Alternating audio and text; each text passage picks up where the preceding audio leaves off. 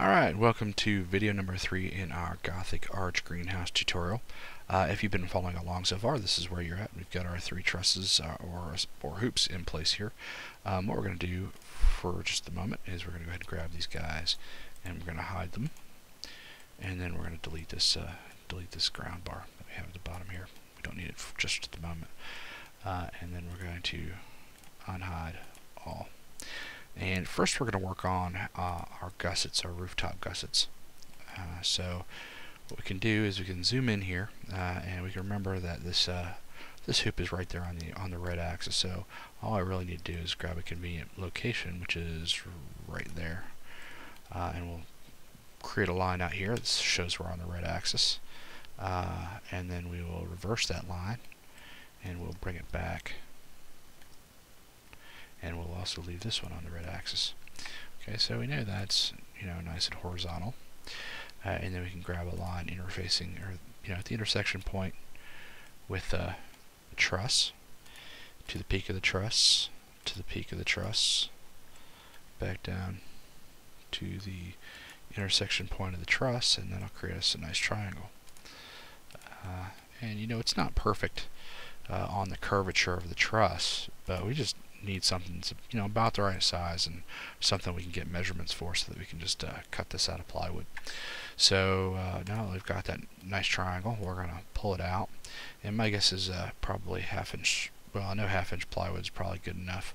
Um, so half inch, there we go, 0.5 inches, and now we have a gusset.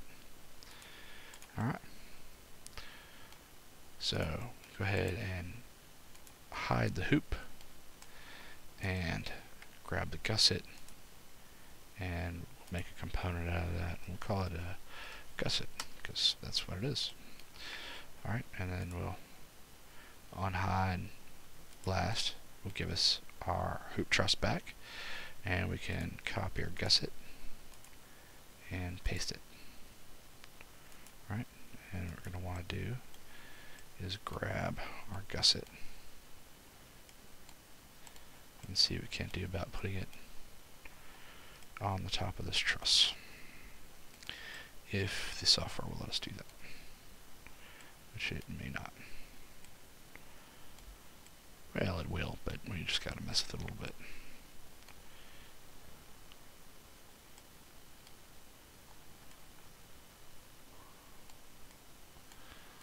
There we go. Clunk.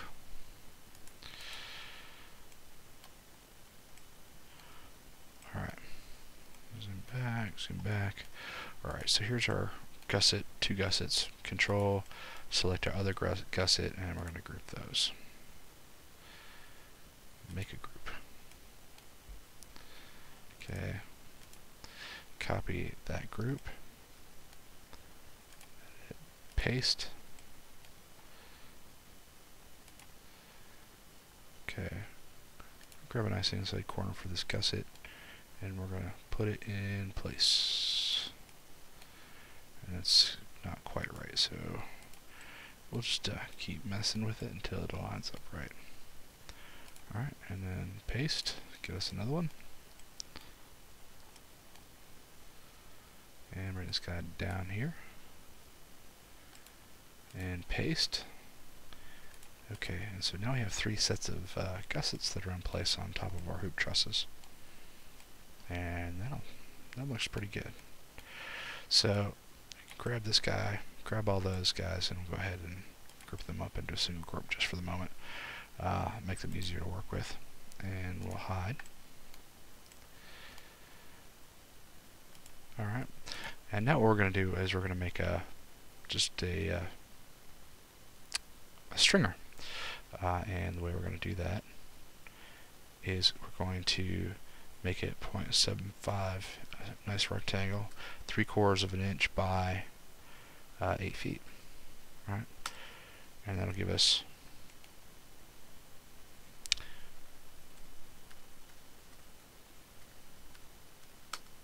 there we go.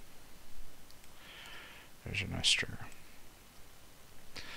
Alright and then by bringing this up to 1.5 inches That'll give us the dimensions of a 1 by 2.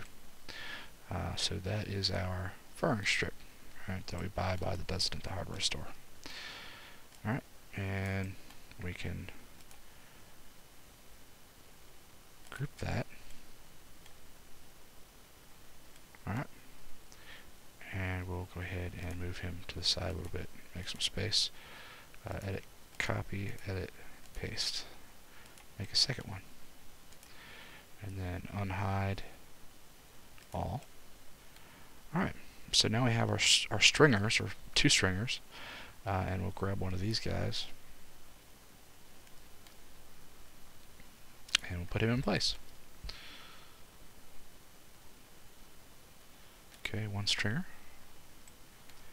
And then we'll grab our rotate tool, put it on the face, grab up here, and then lay him down until he lines up with that plane. Alright, and we can grab the stringer down here, copy, paste, bring the stringer up,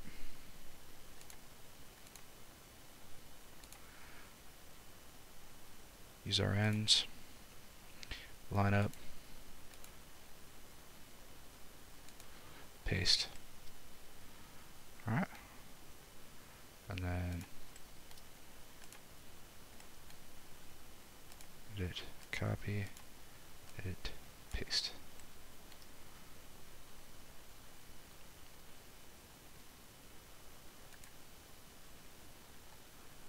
Okay. Then use our rotate tool.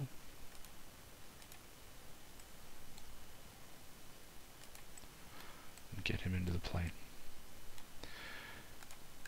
Alright, so now what we've done is we've just put in three stringers for our structure. Right?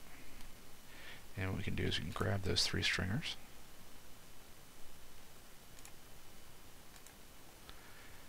And we can make a component. And we call this uh, stringers.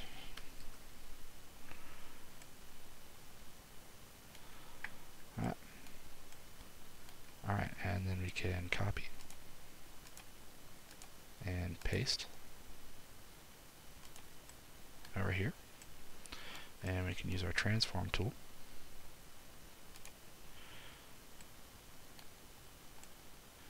We want to grab this guy in the middle and give him a negative 1 to make an exact reverse copy. Alright, so now we should be able to grab him.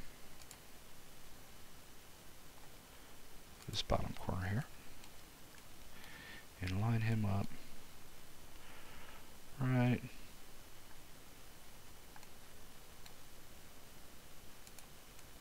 Well obviously our transform didn't work properly right? So we'll go undo, undo, and then we'll grab our transform tool, reverse, negative 1, turn, and we'll see if that one gives us uh, what we need. Come down here, grab this corner, bring our stock up here and fit him in place. Okay. So now we've got our three stringers on either side. And uh, that'll be it for this video. So go ahead and uh, move on to video 4 if you've gotten this far. And uh, we'll talk to you soon. Thanks. Bye.